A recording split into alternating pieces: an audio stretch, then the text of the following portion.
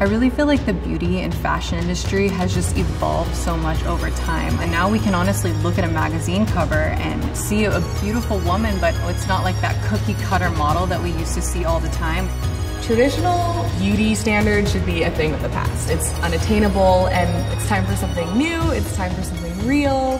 When I was younger, I really did not recognize a lot of models of color or a lot of girls that, you know, were striking or that did not look the same in magazines. I always saw one look that everyone had to be in order to be beautiful. I feel like over the years, it's changed so much. With everything that's going on, we're all taking part in breaking beauty into forming like an all-inclusive beauty world.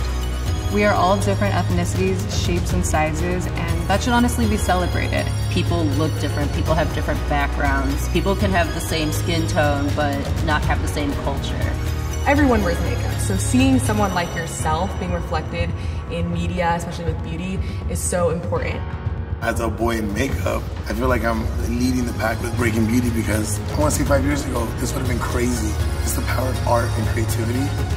I think the beauty standards are definitely evolving because it's not one type of person representing beauty. And I love that companies like Wet n Wild are really breaking down those barriers and making it apparent that we're not just going to conform to the generic idea of beauty and show that other people exist in the world. Everyone is beautiful. You just have to feel you are and that's it. You're gonna rock it.